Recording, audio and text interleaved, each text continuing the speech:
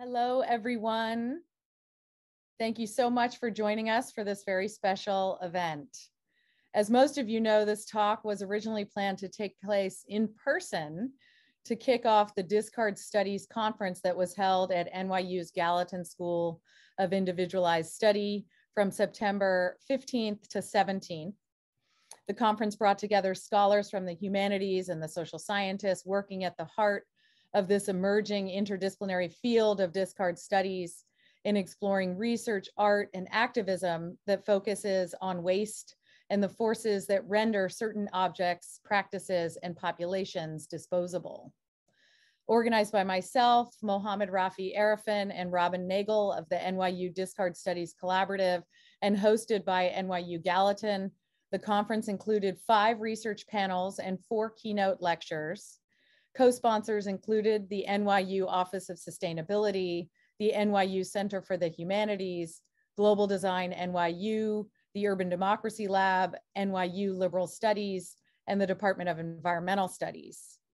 The conference was held in conjunction with an exhibition in the Gallatin Galleries curated by Keith Miller titled Mierle Laderman Ukeles, Chasing the Humming of Life from September 15th to October 13th. The exhibition features 11 video works, including the video version of Manifesto for Maintenance Art 1969, Proposal for an Exhibition Care 1969, which was created specifically for this exhibition. The exhibition also showcases Ukeles' seminal works, Touch Sanitation, in which she shakes the hands of 8,500 New York City sanitation workers, and the Snow Workers Ballet, representing the snow plow operators of the Japanese city of Tokamachi. We encourage everyone in the New York area who hasn't had the chance to see the show to come down for a visit before it closes after tomorrow.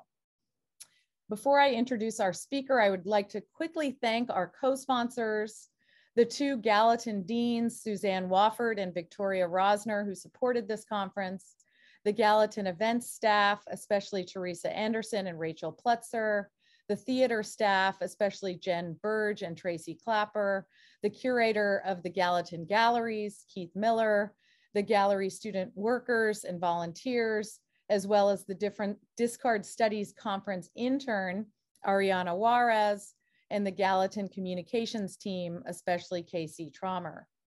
This has been a truly wonderful conference and exhibition, and we couldn't have done it without all of this wonderful support. Now I want to introduce our speaker. Mierle Laderman Ukeles received a BA in International Relations from Barnard College and an MA in Interrelated Arts from New York University. Since 1977, she has been the official unsalaried artist in residence in the City of New York Department of Sanitation.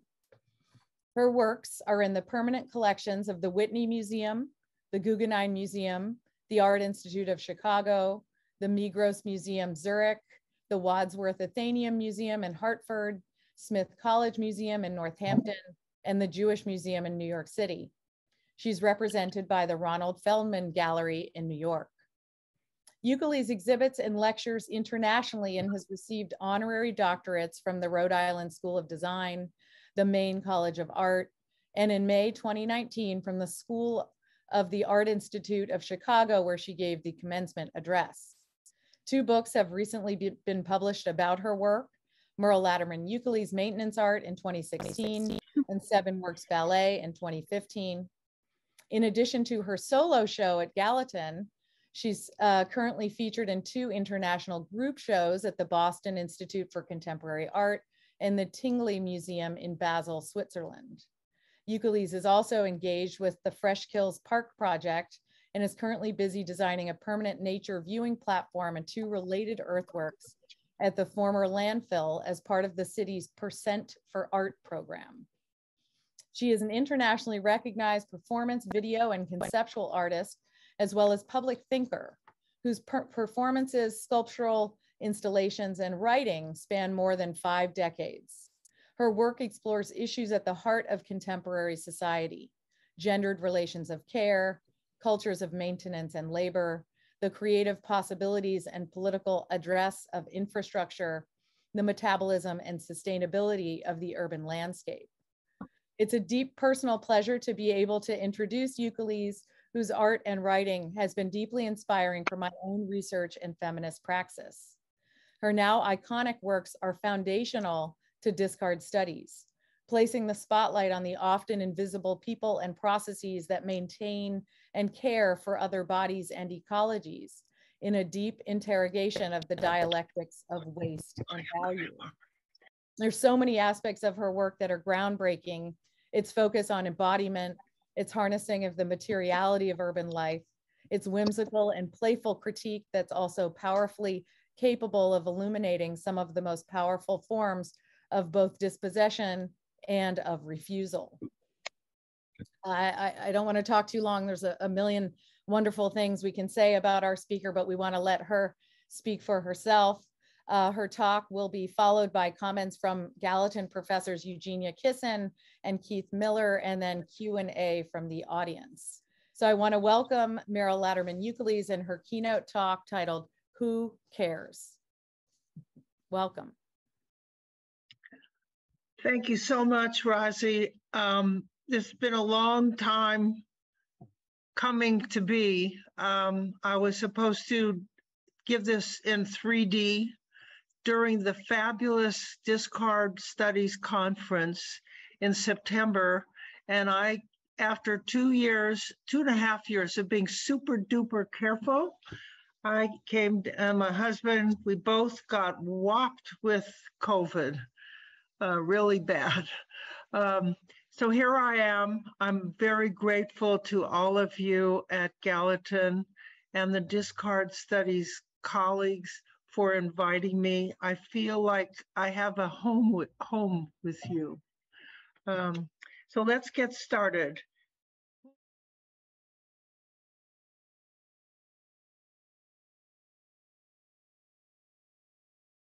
I became an artist to be free to win the levels of freedom that I received from my Western culture artist heroes, freedom to act within the artwork from my uncle Jackson Pollock, freedom to name and rename from my grandfather Marcel Duchamp, freedom to pass from one dimension to another from my uncle Mark Rothko you might notice the genders.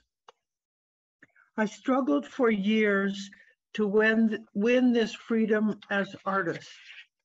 Then in 1968, out of free choice, desire, and great blessing, Jack and I had a baby. I became a mother maintenance worker I discovered that Jackson, Marcel, and Mark didn't change diapers.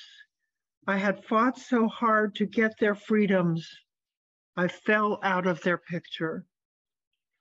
I was so powerful, giving life and keeping life alive, learning the hum of getting from one breath to the next, and learning the mind bending boredom of repetitive task work.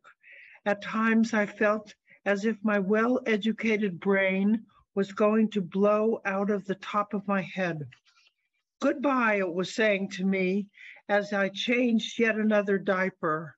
I wasn't made for this. There she was on the changing table, smiling and gurgling at me. I loved this baby madly, twirling, and I was discovering every teeny element of the external world with her as she discovered it. I was in a full crisis. I felt like two people in the same body the free artist and the mother maintenance worker, twirling.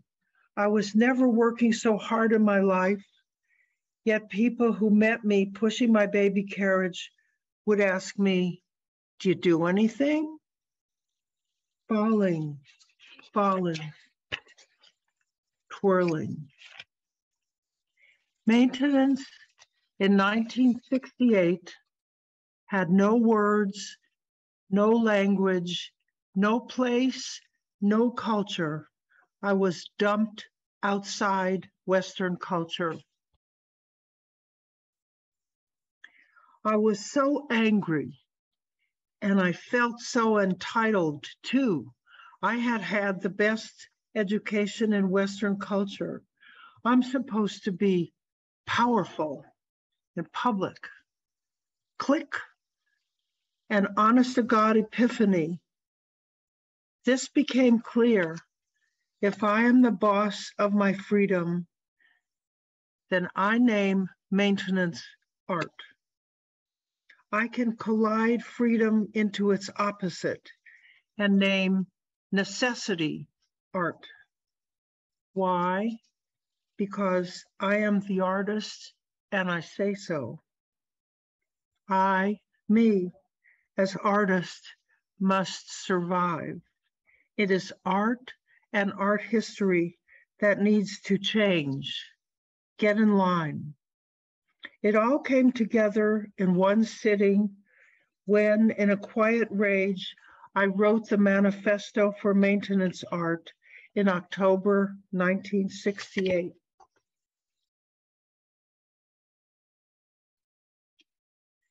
The manifesto is four pages. It is a sculpture that is a text. It proposes three streams that flow into each other personal maintenance, societal maintenance, especially in cities, earth maintenance, the third. Look next door at Gallatin, inside and outside on Washington Place. You see the Maintenance Art Fest Manifesto, this document moving slowly, slowly, so you can read it easily inside and outside.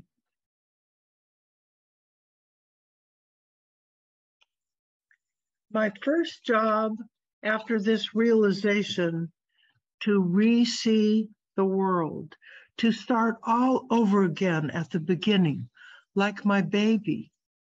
Please note, this is not the art of the happy cleaner.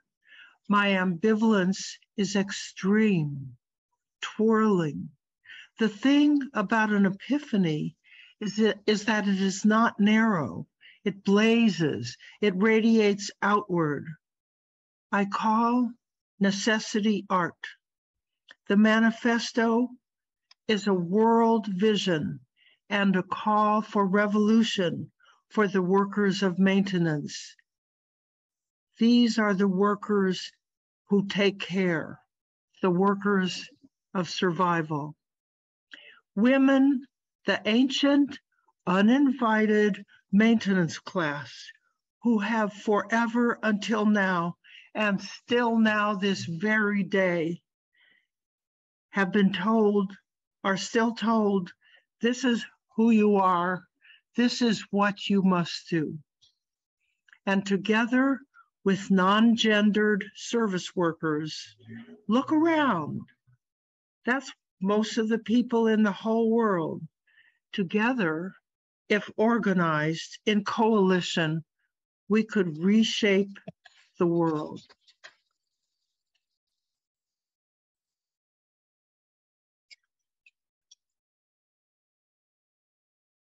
Hello.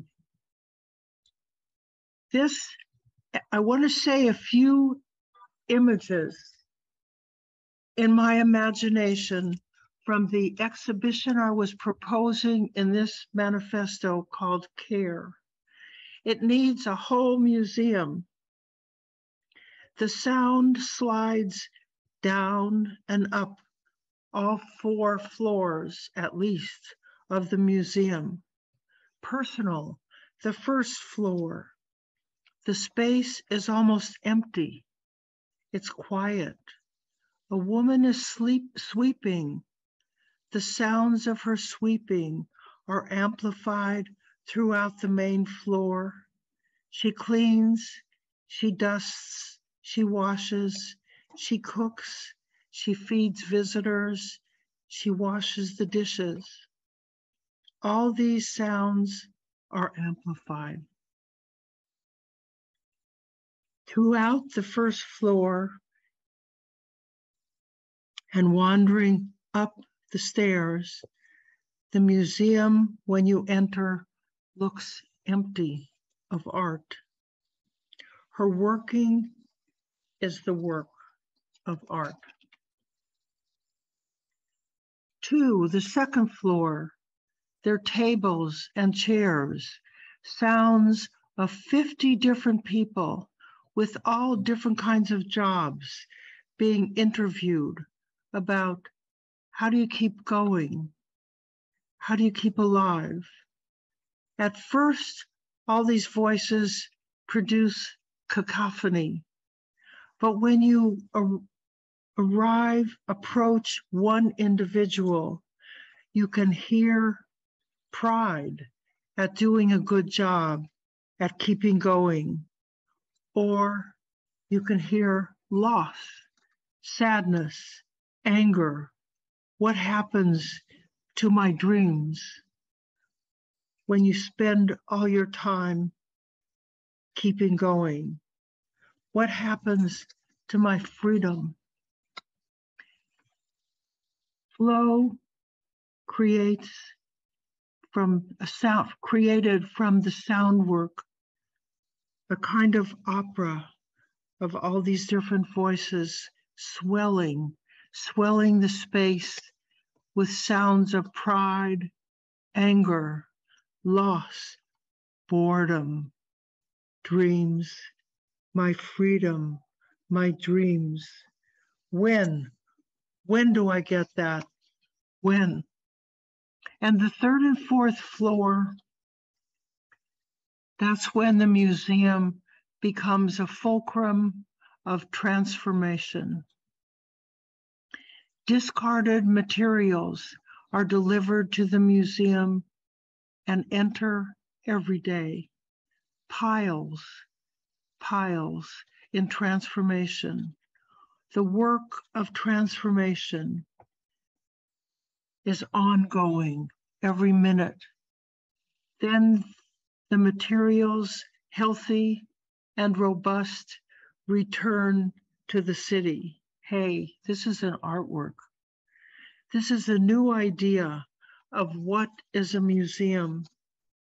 All three parts flow into the other. Sounds flow up and down. They make together a whole picture. Imagine I proposed this to the Whitney in 1969 they sent me a half piece of paper. They were very ecological and said to me, try your ideas on or in a gallery before approaching a museum. Imagine if the entire Whitney or other museum, the entire one became this whole picture of maintenance, of taking care.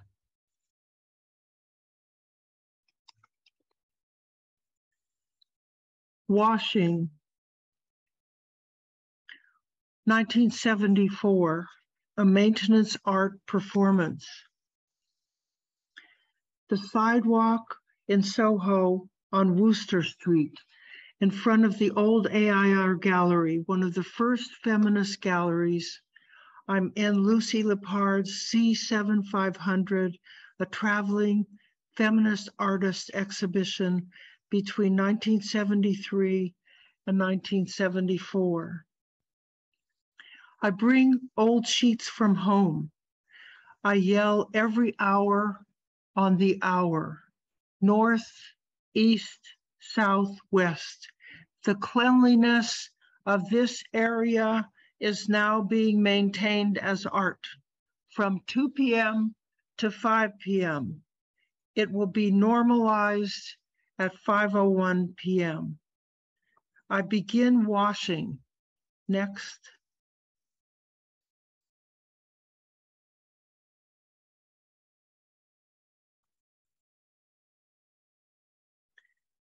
Soho was partially industrial and much dirtier in 1974. Very dirty.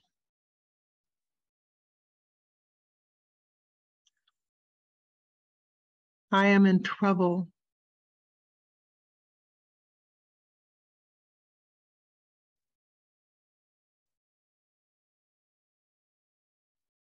It is so dirty I'm running out of rags.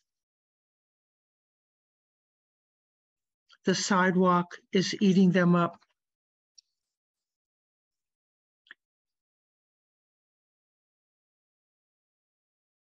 The gift. A superintendent, the manager of a whole factory across the street, has been watching me and listening to me for some time. He sees that I am in trouble. He arrives. He doesn't ask, What is this? Why is this art? Instead, he walks right into my art, bringing me an armful of new, tough, industrial rags. Here, that's the only word that passed between us. He accepts me as real and enables me to keep working I think from that point on, the deal of my artist changed, opening myself to become interdependent with others, with a complementary offer for them to participate in shaping the work, not simply to receive it. This idea became real at that moment.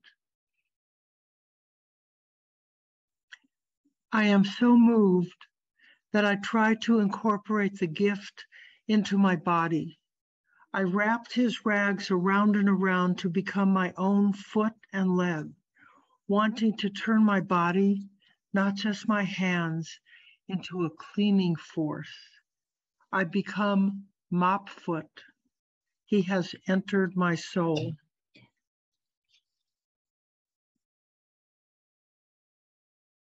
I can keep working.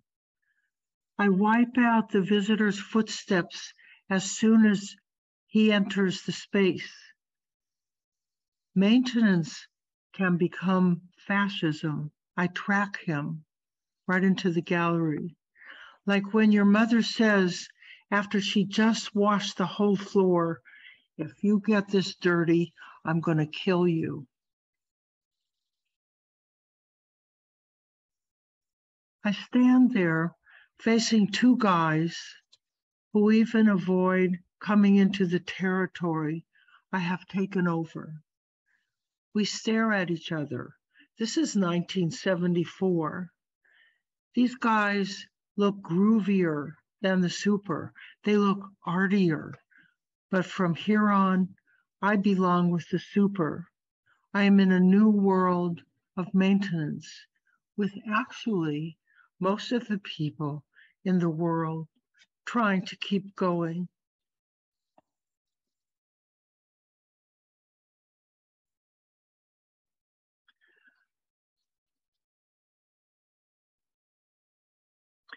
From 1969 to 1976, I made many different maintenance art performances with me and a few others scaling up a bit even to 300 workers in a skyscraper in New York City.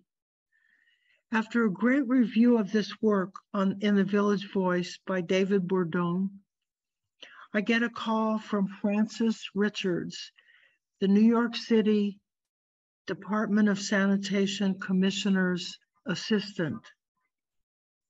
How would you like to make art with 10,000 people?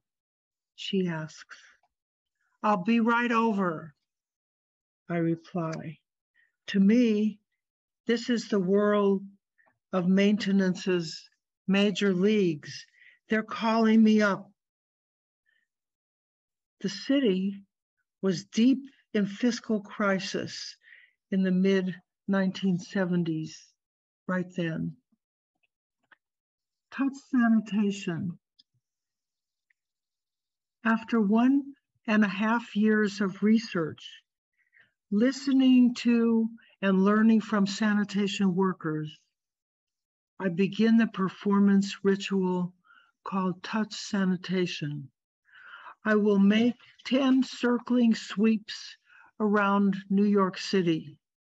I refuse to experience through sampling the abstract way a social scientist comes to know something only if I immerse myself in sanitation's wholeness can this art become real. I will float through the entire system's everyday reality to face all the workers, to travel to every sanitation facility in New York City, garages, section offices, mechanical sweeper garages, snow operations, repair shops, borough commands, incinerators in those days, landfills, many of them in those days, headquarters, the whole system.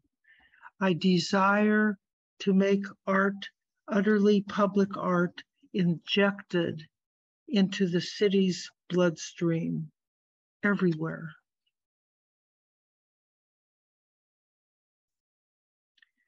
I will face each of 8,500 sanitation workers, shake hands, and say to each person, thank you for keeping New York City alive.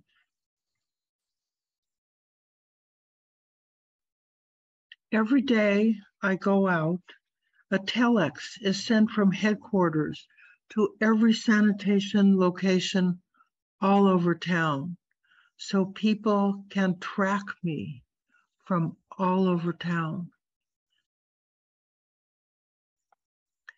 I spend at least an eight hour, often a 16 hour shift modeling my performance art time on the eight hour work shift, making increasingly fiery speeches at roll call. I'm not here to watch you. There were many people watching them. I'm not here to study you, to judge you. There are many people judging them. I am here to be with you, all the shifts, to walk out the whole city with you, to thank you. This is the South Bronx on the second day of touch sanitation. This is a garage of Brooklyn. Then I walk out some of the thousands of curb miles with the Sanmen, Sanmen, at that time still an all male workforce. We eat together, sometimes on the curb, because many restaurants won't serve Sanmen inside, often in terrible section stations. This is in Queens. Much of the time, I listen. It is risky and possibly dangerous. As Robert Smithson would call it, this expedition slash exploration is a taboo situation.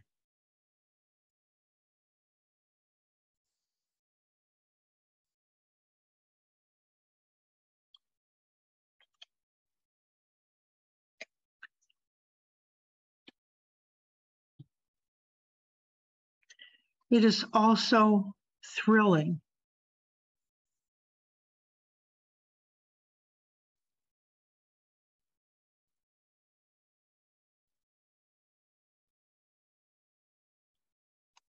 But there is fury and fear in the garages and locker rooms, fiscal crisis, a strong move to sell sanitation to the private carters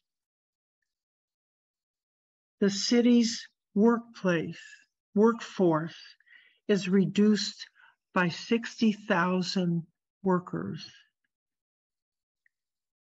It is that bad. Many people are in a panic that they'll lose their homes, lose everything. Every day, I face strangers. Often they are shouting. It is scary, but I'm fueled by my own personal fury as a mother maintenance worker at how maintenance workers, both women as the destined and sanitation workers, keepers of the exterior city as home, are not seen, not heard, not honored. That's it. We are joined in anger. I'm trying to create a grand coalition, a service workers coalition. That's most of the people in the world. Time to rupture this whole ancient, ridiculous bubble.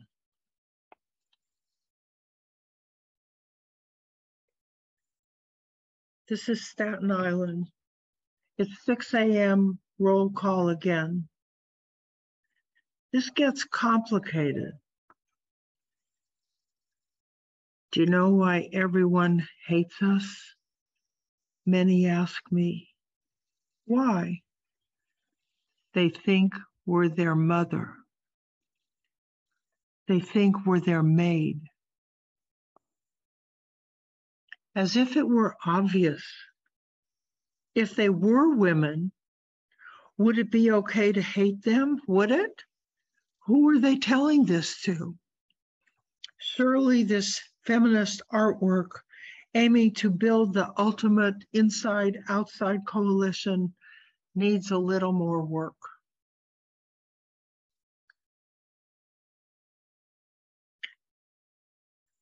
I meet a sanitation worker. I see deep in his eyes what I have come to call the gates of acceptance. I see him looking at me, and then I see his gates opening up. He has decided, what the hell? I'll trust her. I'll tell her what it does to me inside when people think we are part of the garbage. I feel at home, and he fully intends for me to pass this along to others as an artwork.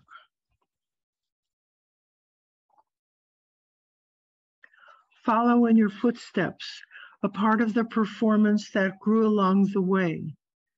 I copy their moves on the street to place myself in the same position of public exposure with the audience usually watching, often criticizing, but hidden behind a curtain, behind the Venetian blind.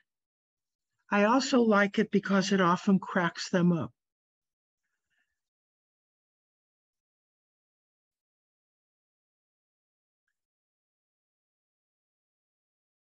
A dance develops.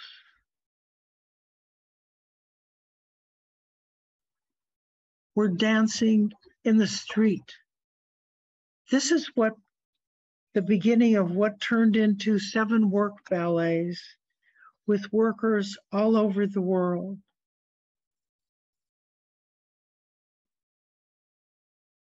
It continues to all the sites of degraded land. I thought the performance itself would take three months. It ends up taking 11 months. It is hard on my own family. My seven year old son comes home from school catching hell from his friends. He asks me, Are there many garbage artists like you? I asked him the other day, he's almost 50 years old this month, how he responded to the kid who said, Your mother's a garbage artist. He told me, I didn't say anything. I slugged him. Every day, I send out a telex saying where I will be to touch sanitation so people all over town know how far I've come. It's 3 a.m., 10 months after I started. I arrive at a dank little godforsaken section office in the Bronx. I ask myself, so tired, What are you doing this for? Then the foreman says, I've been tracking you all year. I had said I'm going to do this, and they have been mapping me doing it all over the city. I don't run away. I keep coming back just like they do. That's what binds us. That is our power. A human being always has the freedom to say no. But a human being also has the freedom to say yes. Open your hand. The art is to create a dismapping of the formal city and to create a remapping of the entire living city from its underbelly up, the allness of it, only via the ineffable individuality of each worker with everyone with whom we are utterly dependent now inside the picture. This is the beginning of democratic public culture.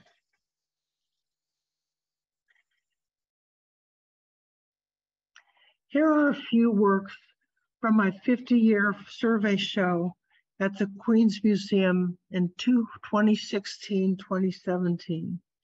This is called Ceremonial Arch Honoring Service Workers.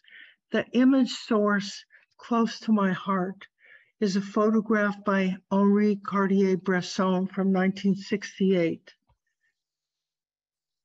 Like the beloved alley of trees along my childhood home on Newton Street in Denver, Colorado. You can be outside and inside the dappled sunlight at the same time. This is an image of how I work, embedded at the central repair shop. See the garbage truck in the background, the other trucks, embedding stiffening gloves, stiffening each glove to be used in a ceremonial arch honoring service workers. Arch facts.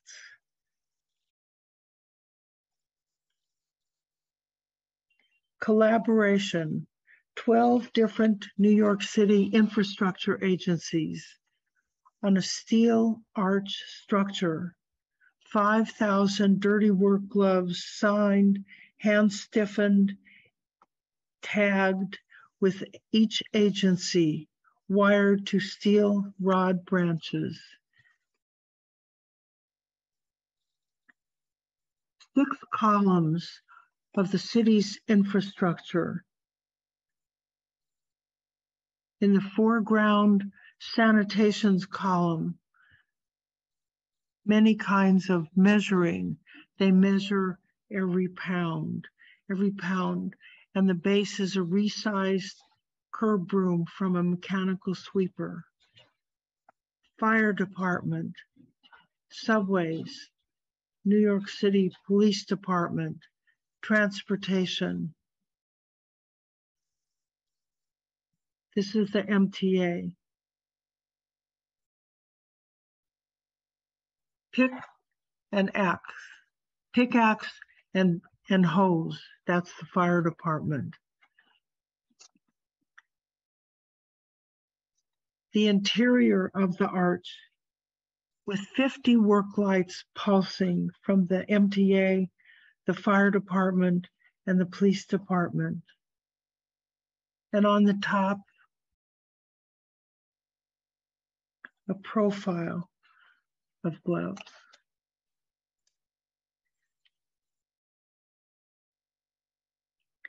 Here we are inside the main gallery of the Queens Museum. On the great wall, 30 feet high and over 100 feet long, is my print installation. You are looking at one year of work time, of care. I believe that sanitation, besides cleaning the streets, removing the waste and recyclables, and moving the snow, really is a visual philosophy of time.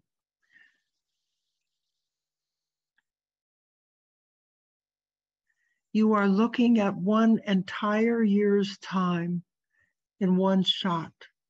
The first layer of the print is a wall of clocks. Sanitation is lunatic about counting every hour, every hour. Every one of these clocks has only eight hours, a work shift, a humane Western invention.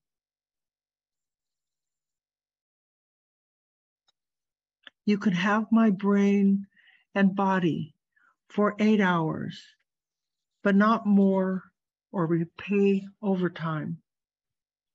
Behind, behind the clocks on these individual prints is a second layer, a collage of thousands of sanitation work forms gazillions of work forms signed every day by individual workers.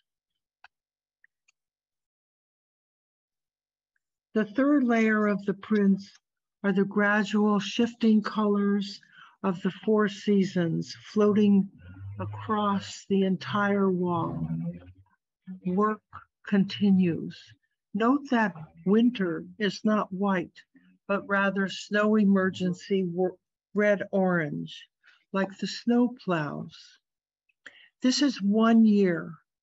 We can do this, a whole year in our hands.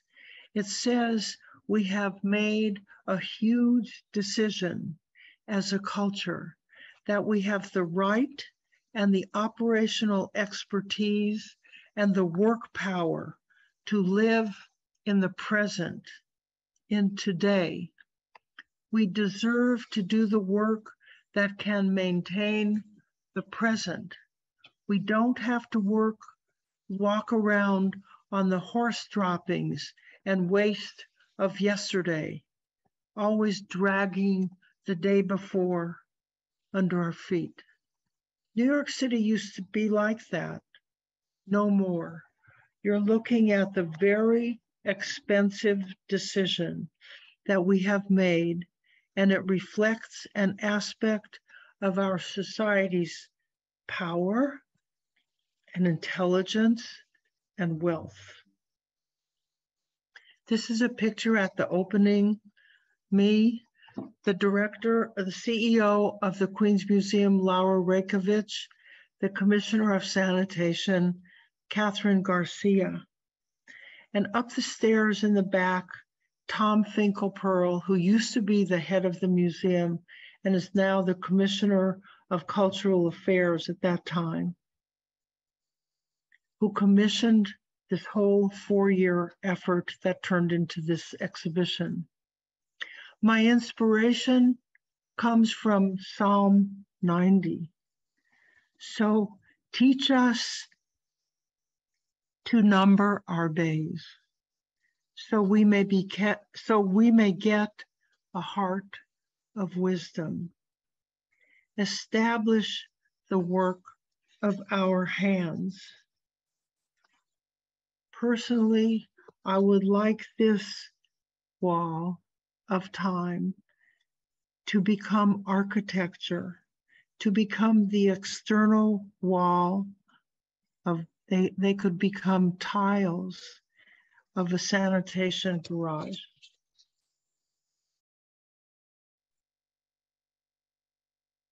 This is a piece table and 16 piece chairs.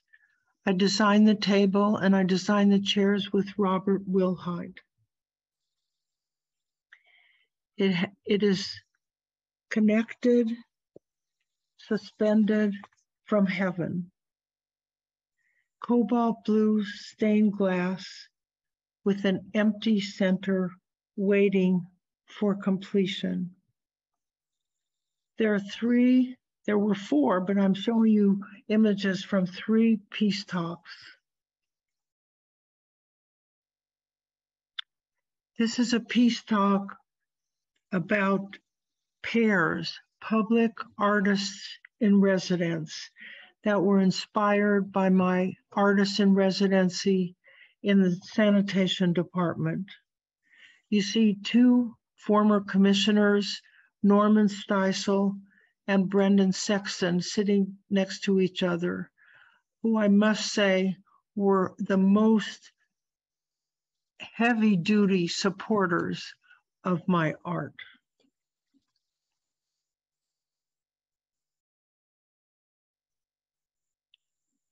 I call this supers and supers. You see Robin Nagle, one of the um, uh, chair, chairs of creators of the whole discard studies conference and whole project, uh, who who uh, ran a, a peace talk between superintendents of sanitation garages and whole districts meeting their counterpart. They from the outside to the inside, the supers of buildings who are responsible for getting those recyclables out on the sidewalk so sanitation can pick them up. Supers and supers, they had never met each other, even though they work together all the time through being part of an artwork in a museum. The museum can be a meeting place that doesn't exist elsewhere. And finally, a peace talk. Next, I'm sorry, next. Oh, this is another. It was, this was a talk of discovery of each other, listening to each other. the final um, peace talk called Care as Culture. Many, many different kinds of artists, writers, curators talking about the museum as the fulcrum of transformation.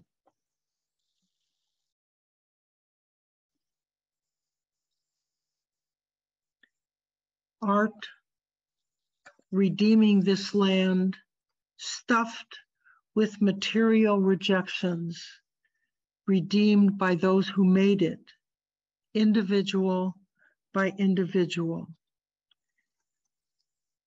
1999 and ongoing. This is a proposal for 1 million people to participate in an artwork for Fresh Kills Park. Public offerings made by all, redeemed by all. I want to show you part of my vision for Fresh Kills. I call it an intergenerational project.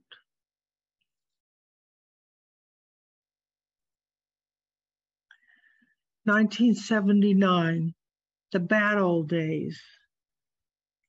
The image from Touch Sanitation was in the Whitney Biennial many years ago, part of a group collaboration by group with group a group called Group Materials.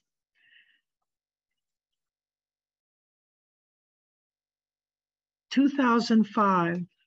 Now it is becoming a unique environmental urban park.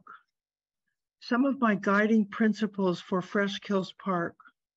Fresh Kills Park can be a symbol of our power to create transformation of the land. Two, Fresh Kills Park needs to reconnect to all those who made it in the first place. This is the whole site, 2,200 acres, and this will be a public artwork for this whole entire site. In December 2021, the Department of Sanitation's engineering department completed decades of environmental closure of all four mounds north, east, south, west at Fresh Kills. A great world-class achievement.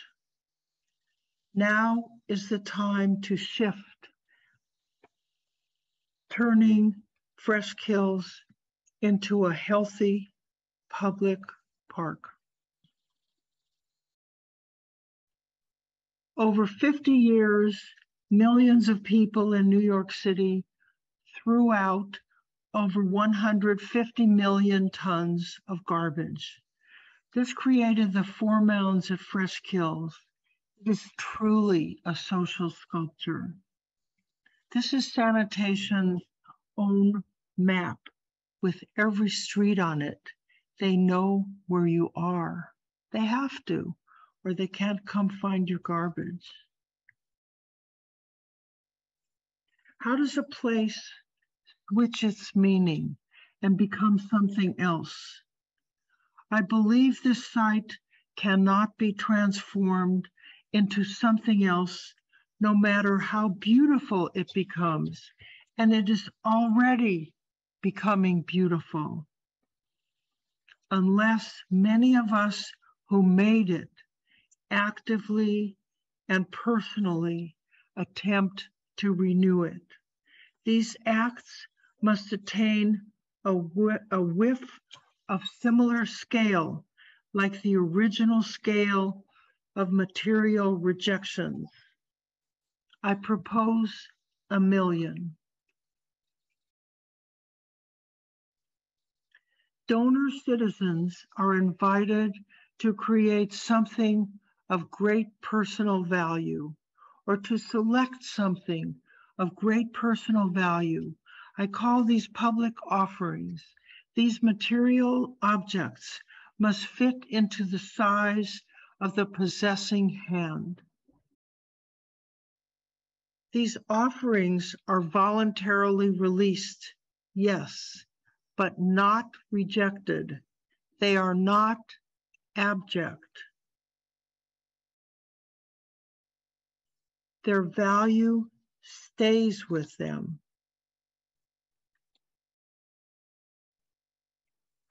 Rather, they are released to be shared in community. Fresh Kills landfill, 150 million tons of material rejections created by billions of individual rejections redeemed by 1 million offerings to be shared. How will 1 million offerings happen?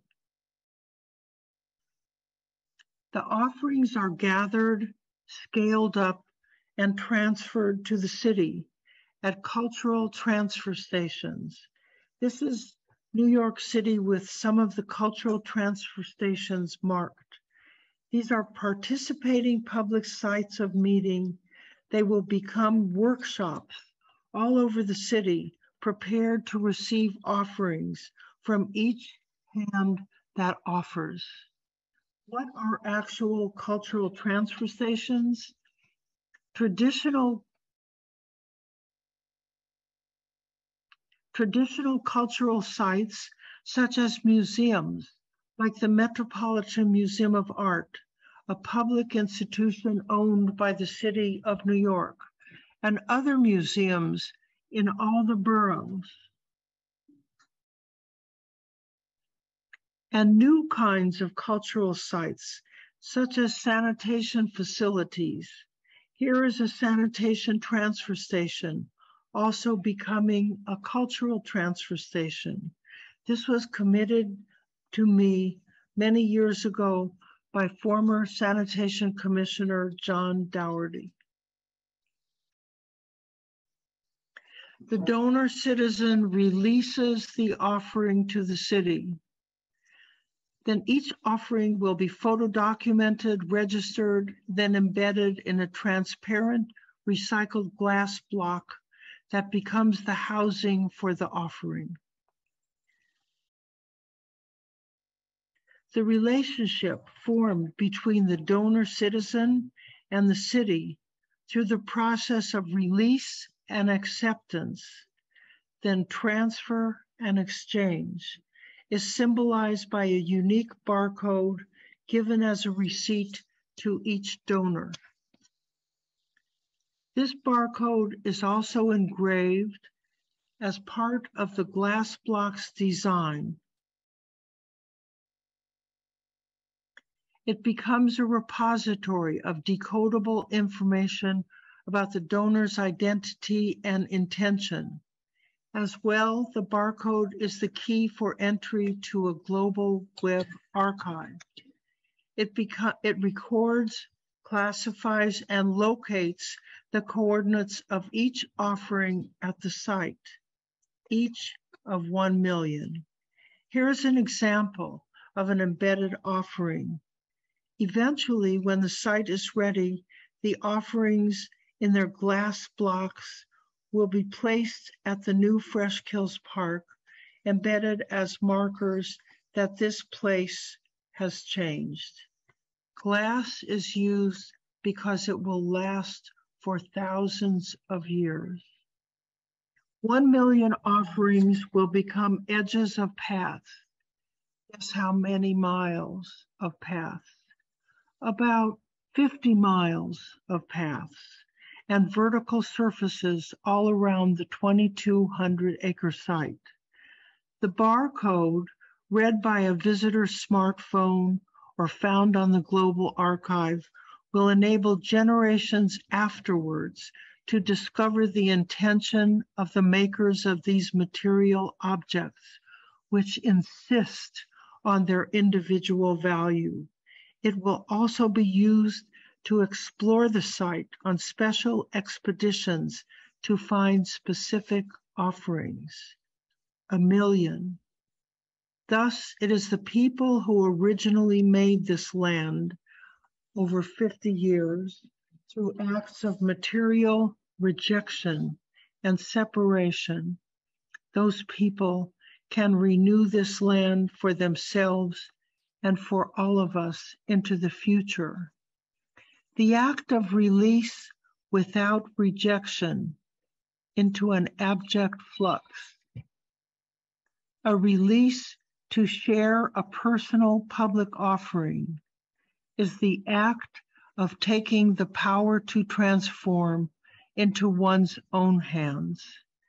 This new permanent citywide land layer, kissing the surface, now entering the public domain will be a huge flow force revealing a new kind of reverence reverence for the individual's intention, respect for the material, even though released from private ownership, reverence for this land on which it sits. This new city land garden can be treasured.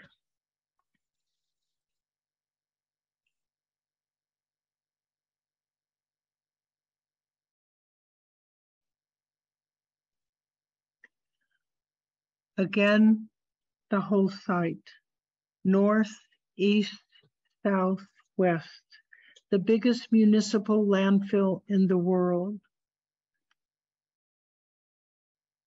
There's a tragic layer here on this image was taken in August 2020, 2001.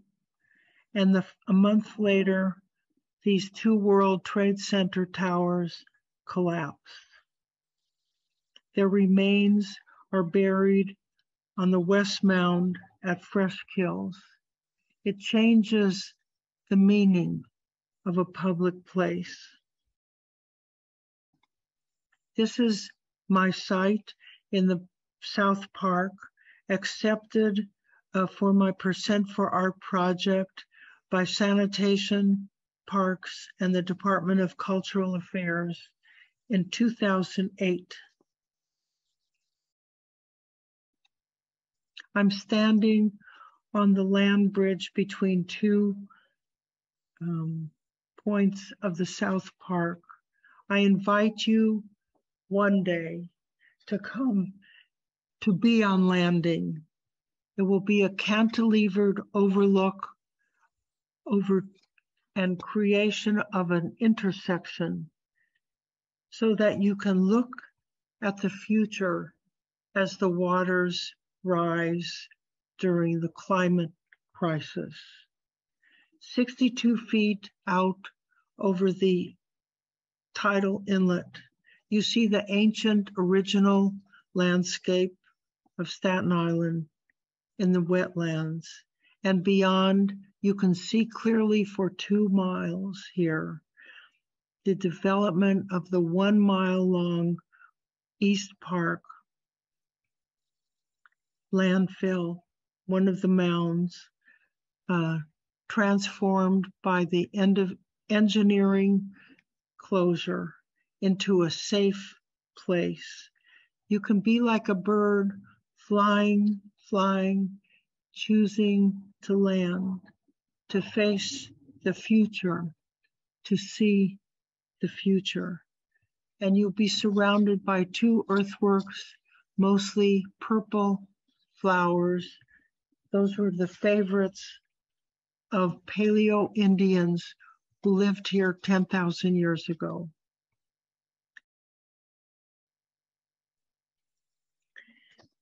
This is a book called An Incomplete Archive of Activist Art.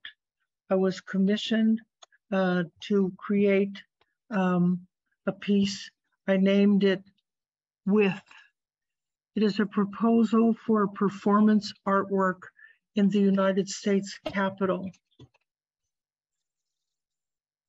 Inspiration from the Manifesto of Maintenance Art 1969 proposal for an exhibition care.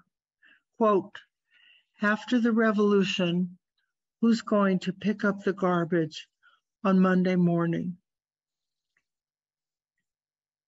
Introduction the events begun on January 6, 2021 are turning into two stories.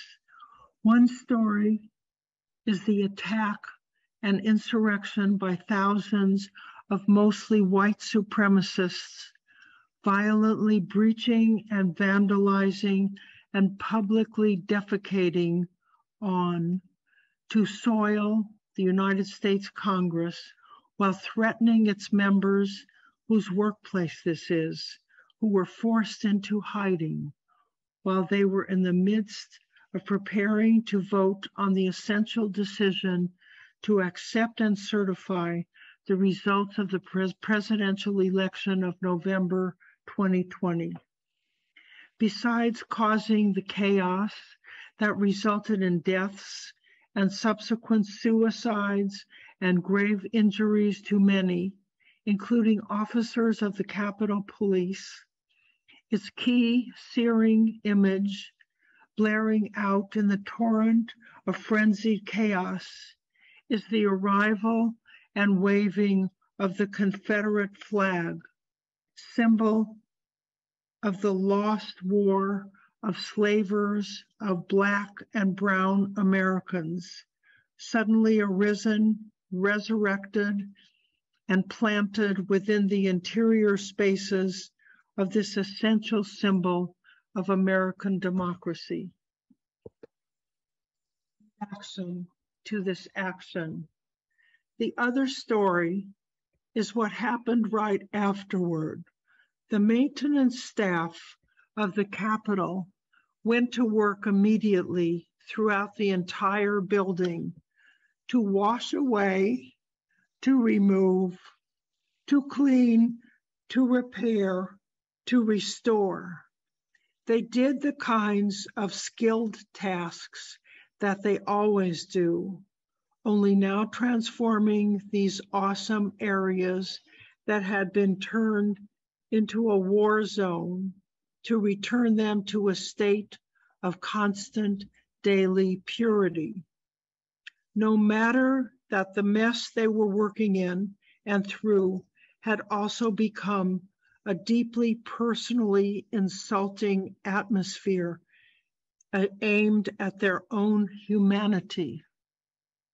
Nevertheless, they went to work, key image, and worked tirelessly to return the Capitol through shit and filth and shattering back to the people's house to heal this sacred space immediately. Two opposite stories, two opposite key images.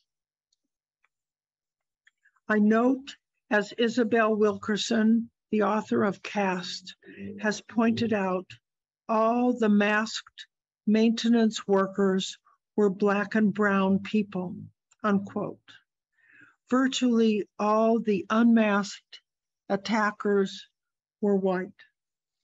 Set in the aftermath of these two stories, between these soul piercing images, this is a proposal for a site specific artwork.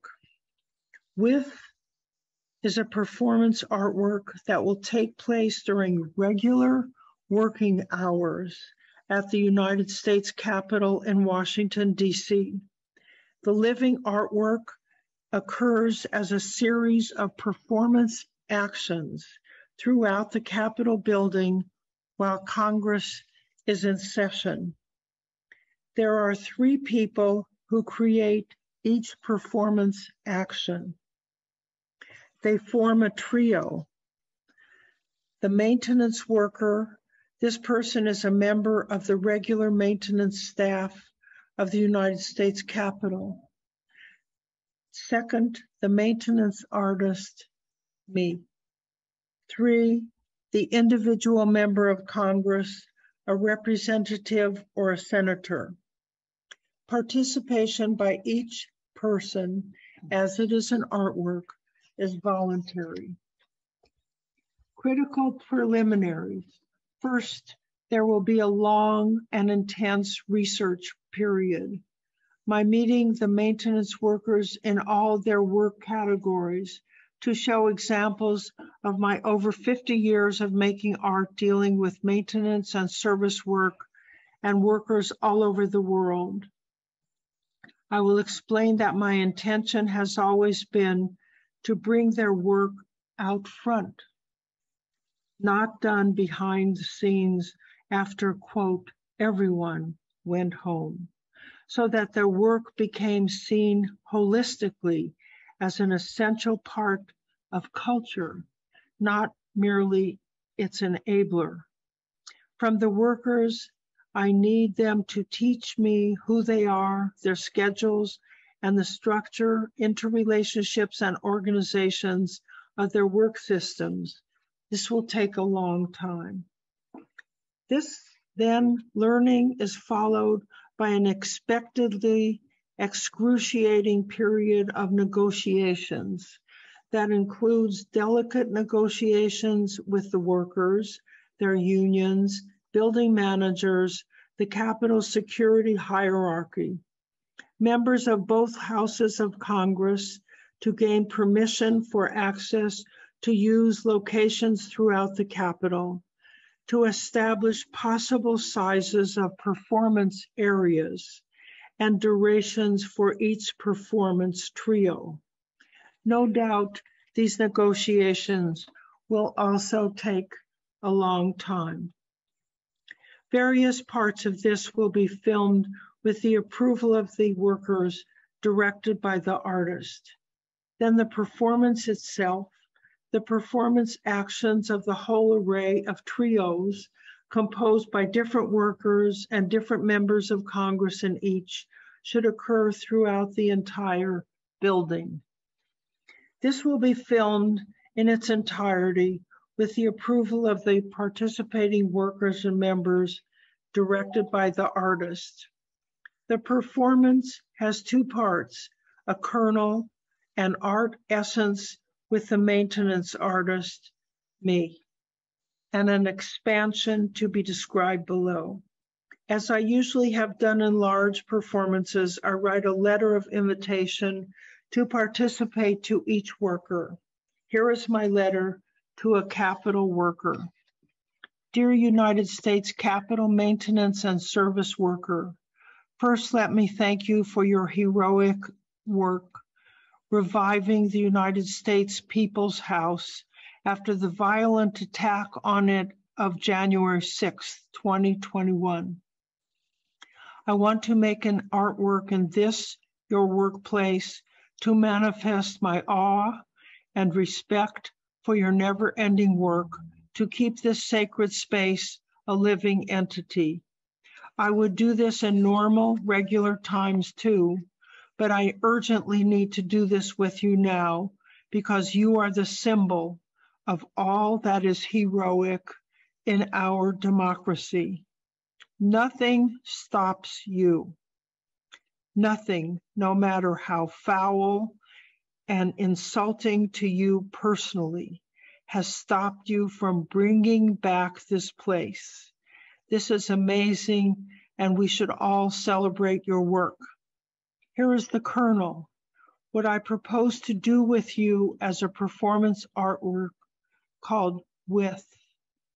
First, we would meet and I would ask you about all your different kinds of work tasks and invite you to see examples of my work over 50 years all over the world created by workers like you. The performance I invite you to participate in consists of many performance art actions that happen throughout the US Capitol during regular work hours while Congress is in session. There will be three people in each performance action. They constitute what I call a trio. They are you, the maintenance worker, me, the maintenance artist, three, a member of Congress, the witness to your expertise, and then the audience. Space will be made to include visitors to the Capitol, members and staff passing by, and other maintenance workers passing by. Here's what happens if you agree to participate. You do your regular work, you don't explain, you just carry on with your regular work.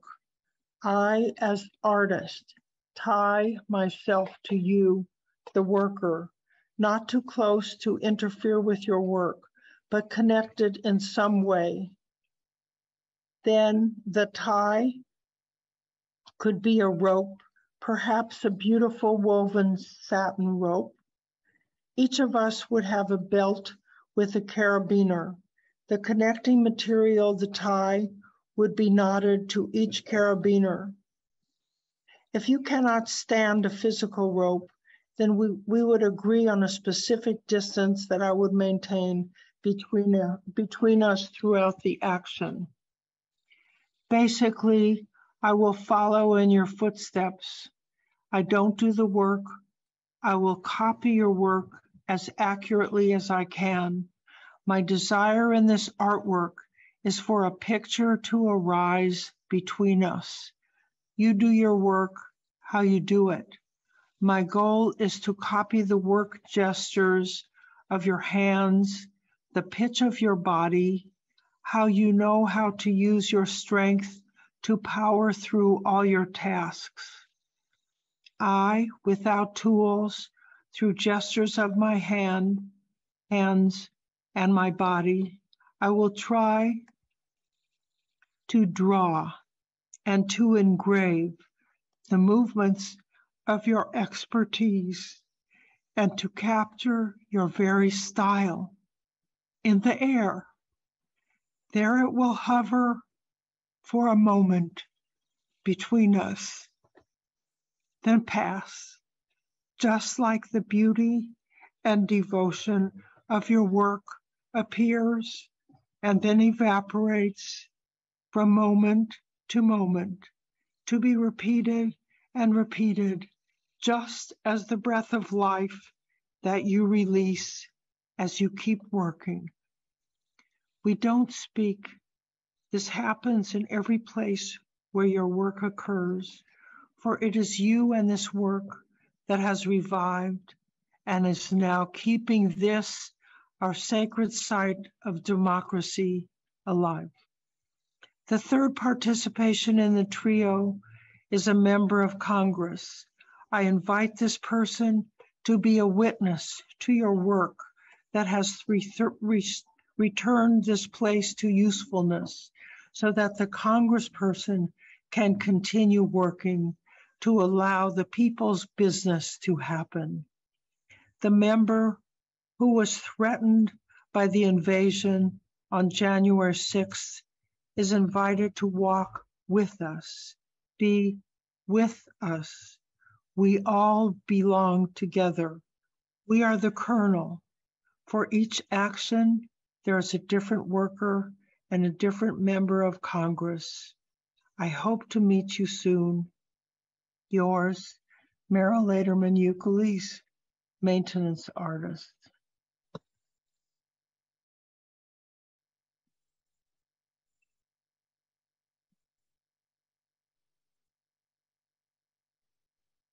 Who cares?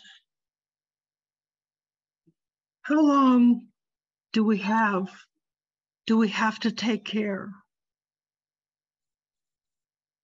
For forever. Thank you.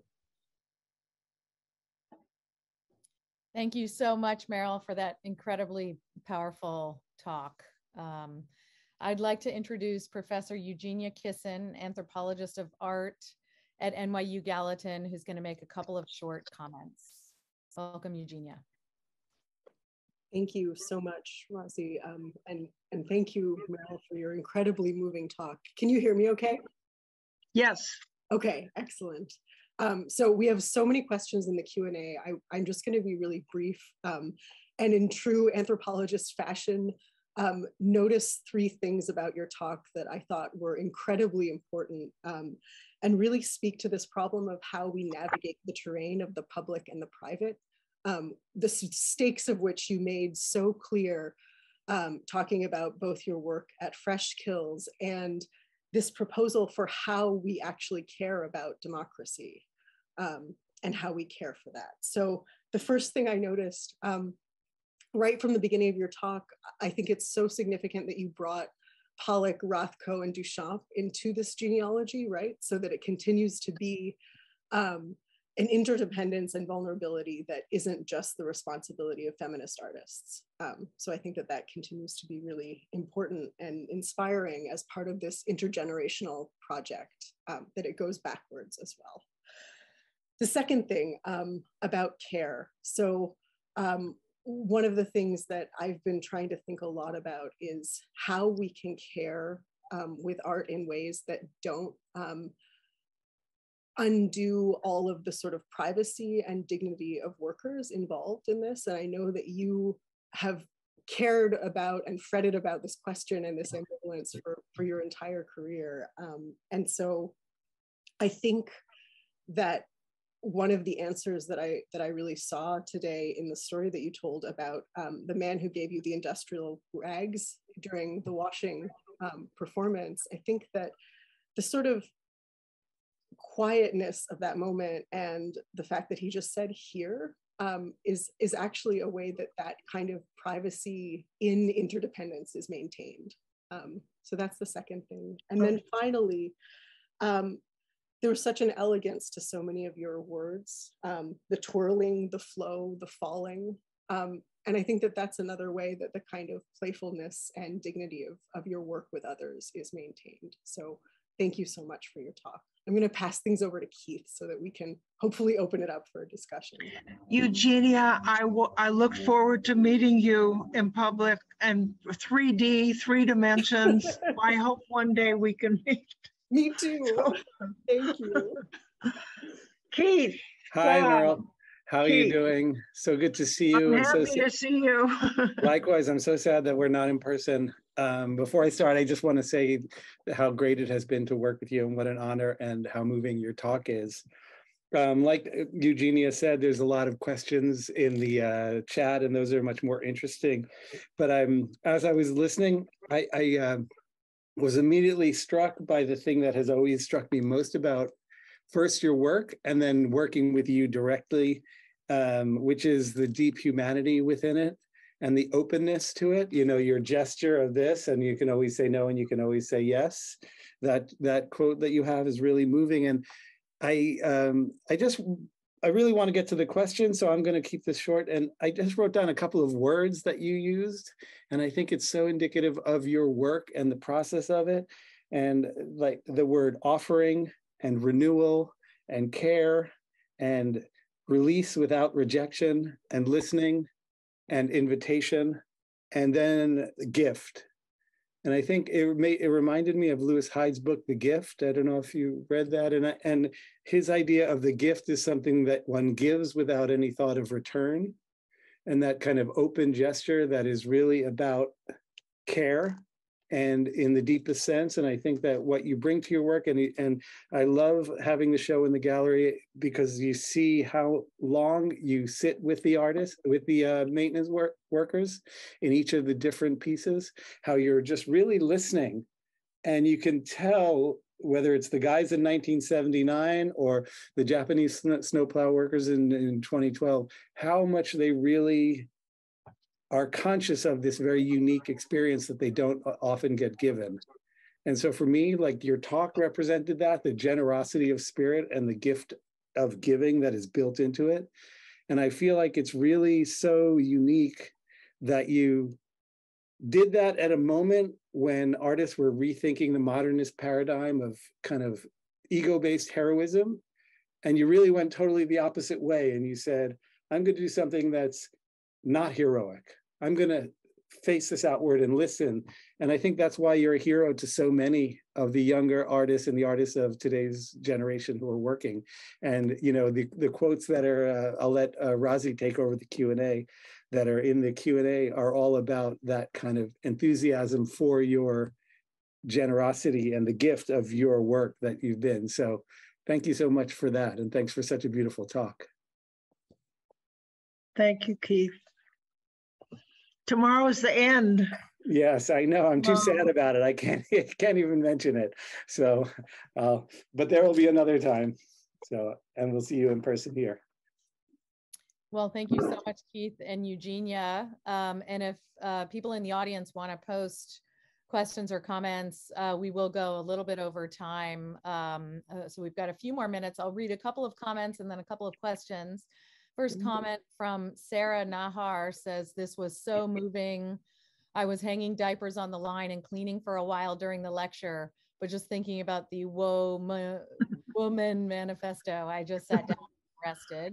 And then we've got a comment from Robin Nagle. Ah, Mierle, your work always brings such powerful combination of joy, tears, and hope. Um, then we've got a question here from Aviva Rahmani. In the face of current repressions, do you think young artists today can source the same scale of courage that made your vision possible in the 60s and 70s? Yes, hmm. always. uh, let me, uh, so do you want me to answer something? Um, uh, I mean, we, we, we can, I can hand you a few questions at a time, or you can go ahead. I would say go ahead and answer, you know, if you like. Well, I, I, I do want to respond to dear Aviva, who is a, a friend over decades, who has struggled and continues to struggle to make very big scale, big scale public work. Um, so we share that, a very frustrating job. Um, but uh, actually, I think in the 70s, um, maybe it was the fiscal crisis in New York or the Vietnam War, the sort of the discouragement by uh, so many young people, myself included, of institutions, of the way things were supposed to be, that we just hit the streets. And we just did, if we wanted to do something, we did it and that unleashed a kind of big uh, big scale and small scale and personal and intimate but not sticking in categories. Um, we just you know going inside uh, became suspect. Uh, the street we felt we we owned the streets and the work took place a lot in the streets. Um, so I think that we live in such an insane time right right now. Uh, no time to describe what I'm talking about. that I think that the level of, of frustration that many, many young, I know many, many young artists feel um, will actually empower them to hit something, streets or whatever, or the uh, and speak out and speak out at whatever scale uh, they're interested in. I think it it will be a things are so bad that I think people will think, what the hell, and step out and take uh, big chances. I hope so. Thanks for that. Um, Eva Peskin writes, thank you so much for your work, for keeping me as an artist alive with your model of interdependent public creative practice. Can you speak more on how you think about or work with duration? How do you relate to such long-term processes differently over time? How do these projects stay lively for you as they unfold slowly over many years? How do you notice other participants, volunteers, affected by the long time it takes to do maintenance art? Yes. That's a lot. That's a lot of big, long question. Actually, I must tell you, the older I get, when I was younger, when I started doing this stuff, I was uh, much more patient. Now I'm 83 and I'm not so patient. I don't I don't have such a long time horizon in, in front of my eyes. Um, and I know from being around city government a lot, a long, long, long time, there can be people who can take a risk and say yes and try. And there can be a lot of people who are scared for one reason or another and they know very well how to say no or cause things to slow down um, and increase unnecessarily increase the duration of something. Th- many things can happen quicker if people will be willing to take a risk and try and think in a larger way so that duration itself isn't necessarily a value, I think. And I'm saying that even though a lot of my work is packed with duration and frustration. And I think a lot of it is stupid and doesn't have to, frankly, does not have to take so long at all. It just needs people who are in positions of saying yes or no to say, what the hell? I'll say yes. That happened to me in sanitation. They didn't have they, they there was no precedent. They did not have to deal with me. They could have said bye. They didn't they didn't have to deal with me at all. Many people went to great lengths to enable me to do many many projects actually. Step forward and it happened. But a lot of things don't have to take so damn long. It's ridiculous. And I think an artist should never accept that duration is a sort of a sacred ritual because sometimes it is, but sometimes it's not. Thanks for that. Uh, Martine Handelman Duffy writes, incredibly powerful, moving, and radical work here. How do you think that the advent of technology and increasing automation of labor will affect issues of maintenance and care? Wow. Uh, it's a great, great, it's a great question. Um, automation um, has eliminated uh, many, many jobs. Um, in some ways, it's very good that a lot of jobs are unnecessarily dangerous. If they could be made more safe through technology, that's wonderful. But replacing uh, human judgment, um, human. Um, I learned a lot of things in sanitation, um, being uh, especially around operations people, where really, on the one hand, the work is repetitive, incredibly repetitive, often incredibly boring, yet necessary. I learned um, uh, endurance, a kind of endurance quality uh, from a lot of operations people, workers, officers, uh, officials who who didn't turn away from difficult situations. They went into them and stayed there. Um, the the thought that the that this can be replaced by machines, although someone has to take care of the machines, you know. Um, I don't know. It's a, it's a, it, I don't, I don't really have good, a, a good answer. A big question. Here's a, here's big. another one from August Ackley. Are there any artists whose work you look to for inspiration? And are there any contemporary artists working now who you feel are who you feel are building on your legacy?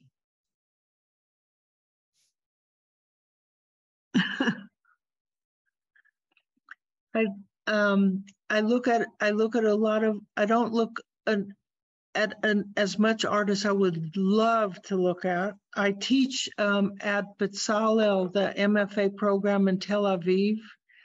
I love seeing my students over a period of two years uh, changing, growing, developing.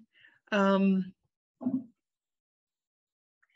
I admire a lot of work and I don't like a lot of work also. I think that it's um, uh, people are scaredy cats. I don't like that. Um, I admire many, many artists. I, that's it. So there was a correction. That was actually a question from Nina Osoria Ahmadi, who apparently is using the computer of August Ackley. Um, we have another question here from Mril Ingram. Thank you, oh. thank you, Mril, for this talk and so much more. Here's a question I've had for a while. In one of your videos I found online, you are shown walking past our Serra's tilted arc when it was still in place. What do you want us to think about when we see you next to that large, disruptive, provocative artwork? Well, so first of all, my my first name is Mierle, Mierle, and her name is Mril. And I've been trying to get her. I she wrote about me in a beautiful book that she just published. Um, I've been trying to get her to reveal where where does her name come from, but she hasn't she hasn't, I have never met her. I was supposed to meet her when this was going to be a live event and she came to the conference, but I unfortunately wasn't able, wasn't able to meet anyone. I was locked up in isolation. Um,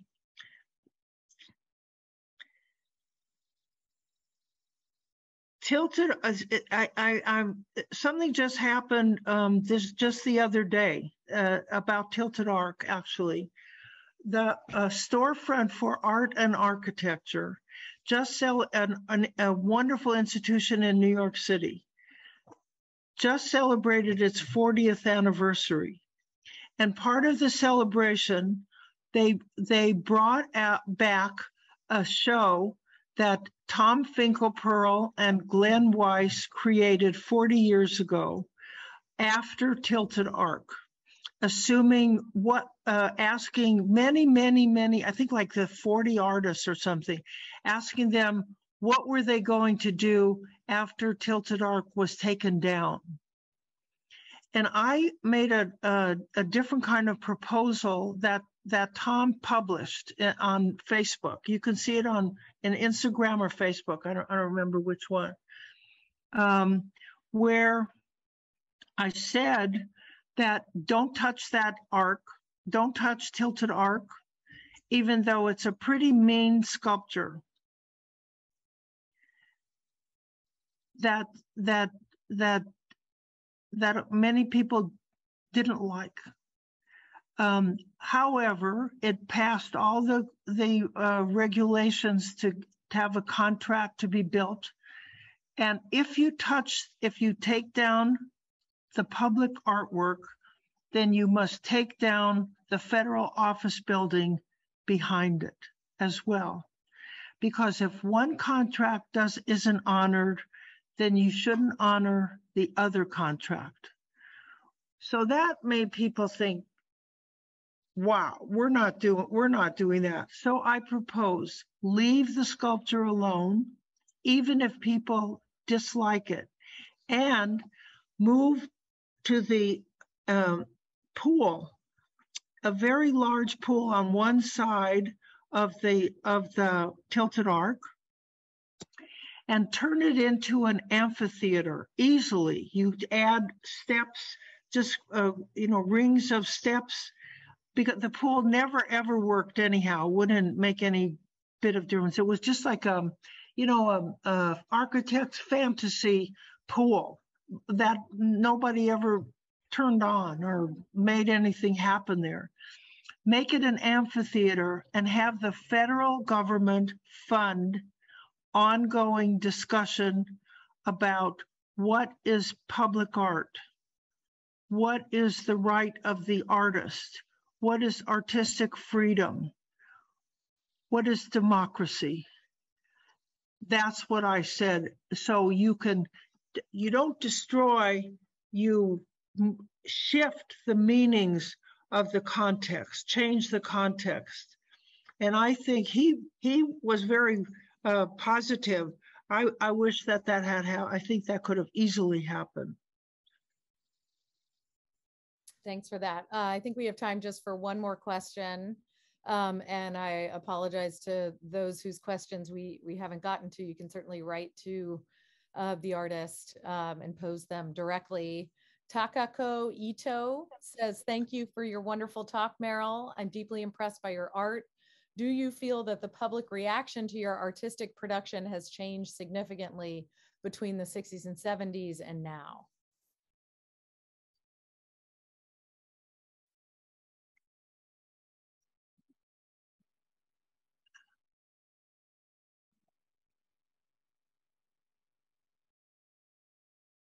I think the what is the public now in the United States has become so fraught. I don't know how to answer that question.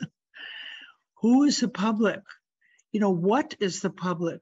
Um, I was very, very fortunate to be a commissioned um, to have this 50 year career survey show at the Queens Museum. They every uh, possible place for exhibiting art was turned over for for this exhibition. So and and and and people worked. Um, they didn't have the biggest staff in the world, but people of the staff were so devoted toward making this very large exhibition happen so that the re- the change from the Whitney sending me one half of a lousy piece of paper saying don't even talk to us I guess that shows it.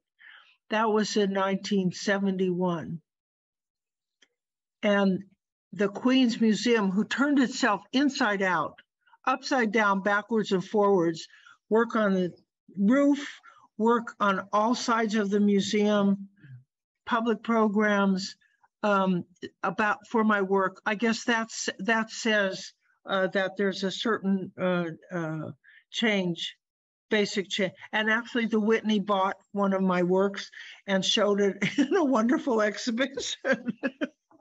they didn't turn over the whole museum though, like they should have done, but whatever. Well, thank you so much. That was such an incredibly rich uh, talk and Q and A and comments, and we really just missed you here in New York. But it's so wonderful to have. I miss you too. To engage with you and and just thanks again. I wish you could hear a huge round of applause now. But uh, Rosie, I know that you do work in Senegal where meanings of material has changed radically. I wish we could talk about that. Um, Let's so that, that you see mm-hmm. the meaning of material and the flows of material changing, changing from when you began your work. How many years was that? 20 years. Mhm, 20 years, night and day. mhm. Um, not less complicated at all, right?